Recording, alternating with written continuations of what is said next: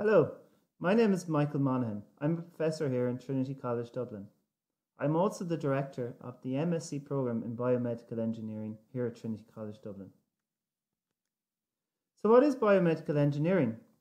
Biomedical engineering can be defined as the application of engineering in medicine, physics, chemistry, and mathematics to develop new devices and new approaches to improve healthcare and improve people's lives. Biomedical engineering at Trinity College Dublin is a well established programme. We exist in the School of Engineering, which is the oldest school of engineering in Ireland and one of the oldest in the world. Trinity College Dublin is Ireland's premier university. It is ranked highest annually uh, by the Times World University Rankings. Biomedical engineering is multidisciplinary. This is an approach that we adopt here in Trinity. We span with academics coming from the School of Engineering, the School of Medicine, the School of Dental Science, the School of Natural Sciences, and we have many, many researchers from postdoctoral level, PhD level, and master's level. We perform world class research in biomedical engineering and are internationally renowned in this field.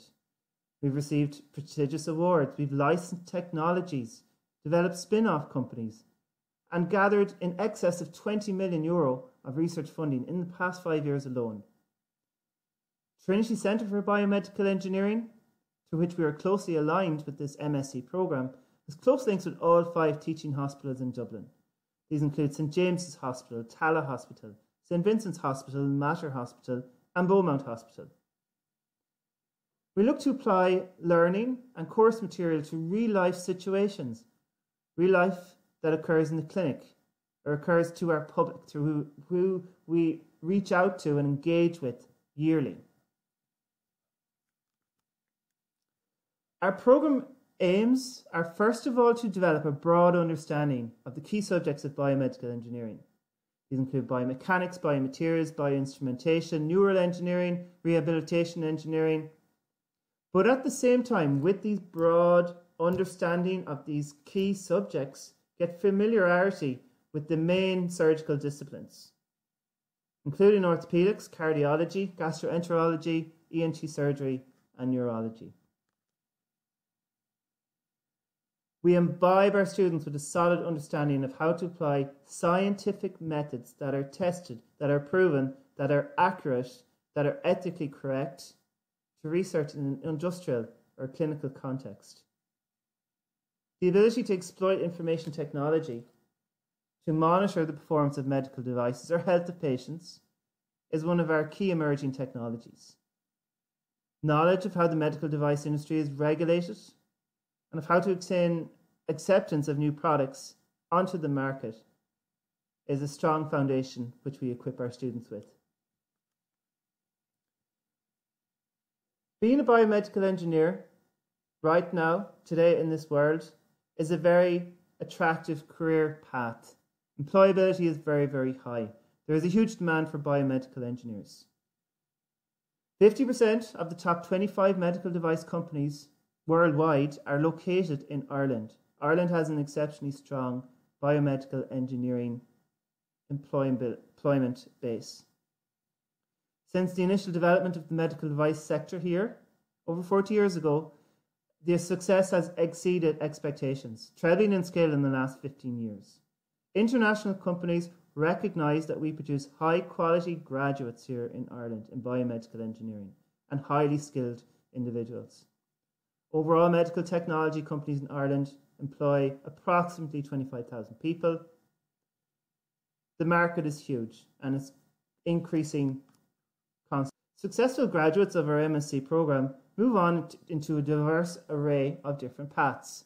This can include further research or academic routes through PhD programs, both nationally, locally, and also internationally in the USA and in Europe.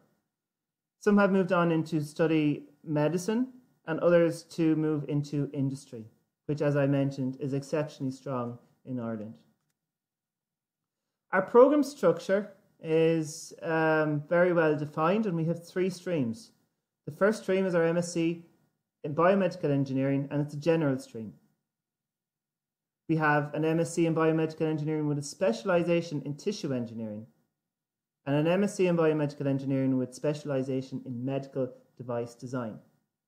We have a wide range of modules. These modules can be five ECTS or 10 ECTS typically. And they are tailored to maximize the potential, learning, and development of our biomedical engineers taking our MSc program. Some of the modules are shared among all three, some are optional, and some are very, very specific to the specialization upon which the student picks. Typically, the specialization is discussed in depth with potential students to maximize their previous experience and build on that. One of the main components of our MSc program in biomedical engineering is an in depth 11 month research project. This is one of the greatest strengths of our program. Typically, the assessment or weighting of our research project accounts for almost 50% of the total credit of the MSc program. The research project begins on day one, and students are continuously working on their project.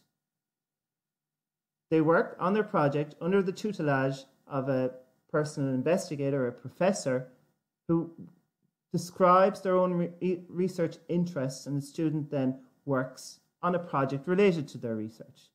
They become part of a bigger team, which consists of other PhD students, of postdoctoral researchers, senior researchers, and exposure to other researchers from other groups that share lab facilities. More information on our research can be found on our website. Much of our research takes place in the Trinity Centre for Biomedical Engineering, and this centre integrates biomedical engineering research across four disciplines and three faculties of Trinity College, but also across other institutes, including the Royal College of Surgeons in Ireland, University College Dublin, and Dublin City University. This here is the building where the majority of the research takes place in Trinity Centre for Bioengineering, that consists roughly of 24 personal investigators, postdoctoral fellows, and PhD researchers. Our research teams are very diverse but very exciting, with significant advancements made in recent years in tissue engineering, regenerative medicine, neural engineering, biomechanics and mechanobiology, medical devices, and advanced drug delivery. More information on our research can be found on our website and looking up our individual profiles. We partner a lot with local academic institutes and also large research centres that are present both within our institute and in other institutes, with clinicians from the various teaching hospitals, with companies, large multinational companies, small spin off companies, and also with the larger centres present in our hospitals. Here is an additional list of international partners that we have throughout the world, both in Europe, USA, Australia, and so on. I do encourage you to look up our individual principal investigators that are present in our centre, who will often prescribe different projects that can be conducted in our MSc and Biomedical Engineering programme. This is just a quick example of thesis projects, and you can see that they've been divided up into their specialisation be it a general stream, a tissue engineering specialization, or the medical device specialization. And these projects have been intimately tuned and created to address the learning outcomes of the different specializations. Our students have a very diverse year, a very active year here in Trinity College Dublin, and engage on many, many activities that are extracurricular but are very conducive to, to their development as biomedical engineers. Here, for example, is where our students have been at local and national conferences to present posters or oral presentations, and in many cases have won awards based on their research projects that they presented through this oral and poster format. Our students engage a lot with our community through our different modules that we have designed. One particular module is our innovation design module that has the initiative Med3DP imbibed in it. Through this initiative, students visit schools. They take place, uh, take part in different fairs, engagement fairs, both locally and nationally, and talk to the public about the 3D printing of medical devices that they're engaging upon. This gathers quite often media attention, and on the next slide, we have an interview from one of our students that was invited from a local newspaper. My name is Pooja Mandal and I am uh, from Trinity College Dublin. I'm doing my Masters in Bioengineering over there and a part of my Masters involves uh, a module named Design and Innovation where we are making medical devices for disaster zones. We have designed a site called the Med3DP uh, in which we are all uh, clubbing our heads together with different kinds of really basic and conceptual designs where people all around the world, wherever the disaster zones are, they can, if they have a 3D printer, they can just like pull out those designs from our website and they can just have those medical devices right there. Um, uh, today we have been showing 3D printing. Basically, many children were not even familiar with the concept of 3D printing, so they were really excited to see something working over there. Uh, we tried to explain them that we are doing uh, medical devices over there, and um, uh, they didn't much understand that, but they were pretty happy with it. Uh, the most common question all children asked was, "How is the printer understanding what we are telling it to make?" so we explained them just like how we speak English. The printer speaks a language called the G code, and they were very excited. They all wanted, were like, "We'll go home and we'll YouTube those videos and we'll see how it's going to be." Inspire the, the next generation of 3D printers and makers and things? I hope so that we did because we we are inspired so much. Uh, like we we did tell them that they can use it for anything. Uh, like many of them were into the uh, factor uh, into uh, the concept of computer designing, and they were all into the designing stuff. And we were like, you should go for it.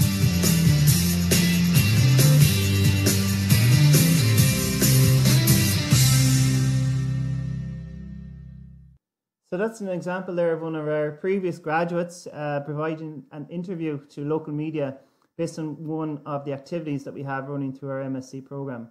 And just to add on this, this Med3DP um, initiative involves a lot of diverse skills. So the students use our maker spaces in our engineering building to do a lot of 3D printing and design. Uh, there's some website design as well, and there's a lot of engagement with um, both clinicians, um, charity outreach people, and um, uh, first aid um, activists. Another activity that we have that is extracurricular but is very important to the development of our students is our research seminar series. We're very fortunate to have a very strong research base in biomedical engineering here on Dublin, with many of the local institutes also having very active groups in biomedical engineering. And because of this, between the different institutes, we have a lot of international speakers visiting Dublin. This gives us the opportunity to um, invite those speakers to give a talk and also to engage with them. And they are very often excited to speak to our MSc students and uh, discuss uh, research with them. The welfare of our students is very important to us. We typically have small class sizes for our MSc program and a maximum 20 students. We do this because we want to ensure that we have a high quality um, group uh, and cohort to, to, to work together with each other and keep that standard up. We also want to ensure that we can deal with students on an individual basis and listen to students' welfare and their views on our program. So it provides a means by which students, through our staff student committee, can relay view, their views to us. And we meet often with our students. We get to know our students on an individual basis. So that's all the information I have today, just in this presentation, but you'll find more information on our website down below, and you'll also find at that website email address through which you can address any further questions. I look forward to speaking to some of you um, through when you send in your application. Many of you will be invited for an interview and you'll get to meet me personally. So thank you very much for your attention and for engaging with me today.